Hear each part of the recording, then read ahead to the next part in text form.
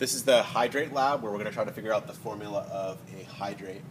Uh, hydrates are ionic compounds that have water molecules loosely bonded to their crystal structure. The hydrate that we're working with today is copper sulfate hydrate. It looks like this. Uh, it has water inside of it, but it still looks and feels dry. Uh, it looks like any other salt crystals.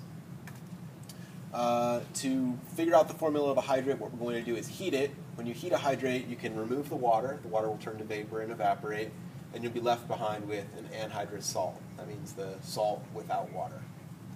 So to do this, we're going to use a crucible.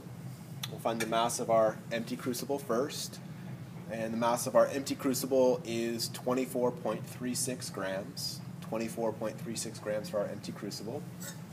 Now we'll take a sample of the copper sulfate hydrate, put it into our crucible, and put that on our balance.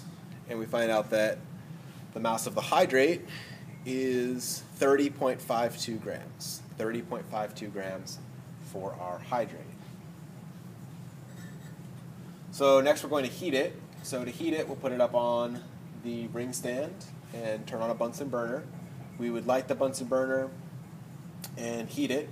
Uh, as it's heated, it's going to drive the water out of the hydrate and leave behind the anhydrous salt. Uh, when this happens, I forgot one that I already did earlier. So this is what the hydrate looked like. It was a bright blue color. And the anhydrous salt, you can see all the water has been removed and it changed the color.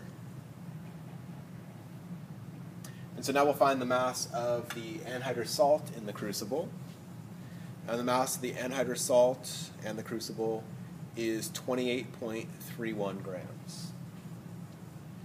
So you can take the difference in mass to figure out how much water evaporated, and you can figure out how much anhydrous salt was remaining.